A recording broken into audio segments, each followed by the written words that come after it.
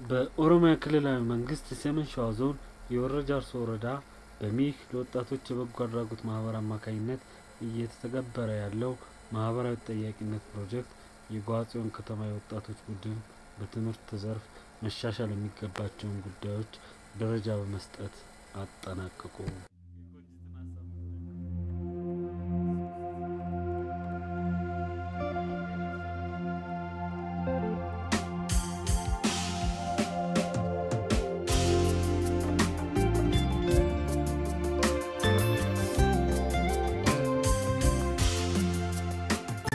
በትምህርት ዘርፍ የተነሱ አንገብጋቢ ጉዳዮች ላይ ደረጃ ለመስጠት የነበረው ውይይት ማራኪና የማይረሳ ነበረ። የቤት ስራ ይሰጣል። የቤት ስራ ከሰጣ በኋላ ሰርተሃል አልሰራህም የሚለውን ነገር ምንም እኔ አይቀርም። ደግሞ የራሴን የምለው የማስተማር ፍላጎት መቀነስ ነው። አንደኛ መሆን አለበት። ለምን የማስተማር ፍላጎት ከሌለ ተማሪውና አስተማሪ ወለ- ተማሪውና ቤተሰብ የአስተማሪ በፍላጎት ከሌለ ተማሪዎችን አላስተማርም። ምን ውስጥ እንትን አለ? ቅድሚያ ፍላጎት መኖር አለበት። በክላስ ውስጥ ሲጃራ የሚያጨሱ አሉ።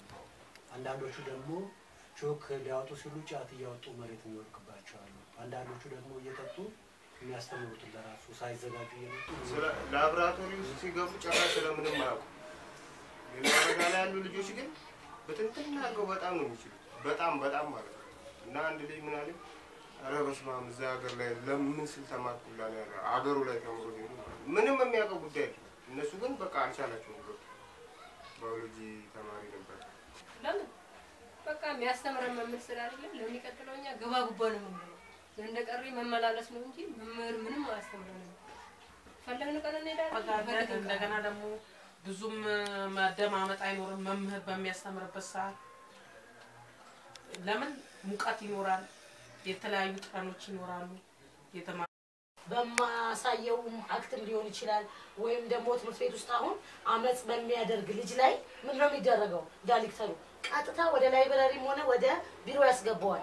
ምንድን ነው የምትበጠብጥበት ምክንያት ችግሩ ምንድን ነው በሚል የምክር አገልግሎት በሚወያዩበት ሰዓት እዚህ ጋር ጋር እያልሽ ቆይ ጨርስ። ቆይ ጋር እያልኩ በመሀል አሁን የሆነ ትንሽ ላይ ናድማል። ቆይ እናንተ ዝም በሉ። ይኸውልሽ አሁን ያልኩት ጉዳይ ማለት ነው ሀሳቤ ቆይ ሀሳቤ ላይ አሁን ያልሽው ምንድን ነው? ሲረብሽ አልሽ? ሲረብሽ የዛን እንትን ምክር የምንሰጠው አልሽ? ጠርተሽ ታውቂዋለሽ ውስጡን በምን ምክንያት እንደረበሽ ሳታውቂ ነው የምትመክሪው? ይኸው አሁን አንቺ ማለት ነው። ፍላጎትሽ ምን እንደሆነ መስፈን ፈልገሽ ከሆነ ወይ መደነስ ፈልገሽ ከሆነ ማቀው ምንድን ነው? ስጠይቅሽ ስግባባሽ ፍላጎቴን ፍላጎትሽን አወቅኩት። ከዛ ደግሞ እኮ ምክር የሚመጣው እኮ ፍላጎትሽ የሚታወቀው እኮ በምንመካከርበት ሰዓት። በአንቺ ስትጨነቂ እኮ እኔ ሳወያይሽ ነው። ለካ ለዚህ ነው እንዴ የተጎዳሽው? ምልሽ እኮ ምክር በምናደርግበት ሰዓት። አንቺ የሆነ ነገር ይሆናል።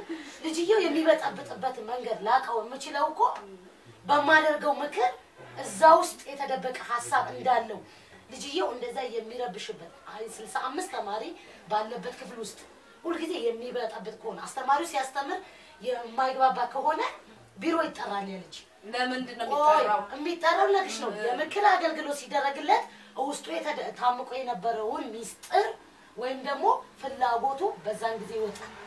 ምክንያቱም ምንድን ነው ለምንድን ነው አንተ በመጨረሻም ስለ ስብሰባው ዓላማና በትምህርት ቤቶች ውስጥ የቀረቡ የተለያዩ ችግሮችን ለመፍታት የሚያስችል የመፍትሄ አቅጣጫ በማስቀመጥ ስብሰባውን አጠናቀዋል። በማህበረሰቡ ውስጥ ያለውን ችግር በጤናና በትምህርት ላይ ነው። ያንን ለመቅረፍ ነው የምናደርገው አይደል? ችግር ስላለ ነው ያን ችግር ለማውጣት ያን ነገር የምናደርገው። ከወላጅ ጋር ስብሰባ ቢደረግ የመጀመሪያው አንደኛ ሊሆን የሚችለው አንደኛ የተማሪው ላይ ችግር ሊኖር ይችላል፣ አስተማሪው ላይም ችግር ሊኖር ይችላል። ስለዚህ የሚያወያያቸው መድረክ ካልተከፈተ አስተማሪው ላይ ያለውን ችግር ልናቅ አንችልም፣ ተማሪው ላይ ያለውንም ችግር ልናቅ አንችልም። ቢያንስ ቤተሰብ ማለት ነው። በሶስት ወር አንዴ የሞጆ ትምህርት ቤት አንዴ ውይይት ቢደረግ የሃይስኩልም እንደዛ ውይይት በየሶስት ወሩ የልጆቻቸውን ውሎ ከመምህሩ ጋር ውይይት ቢያደርግ ቢያንስ የተወሰነ ለውጥ ሊመጣ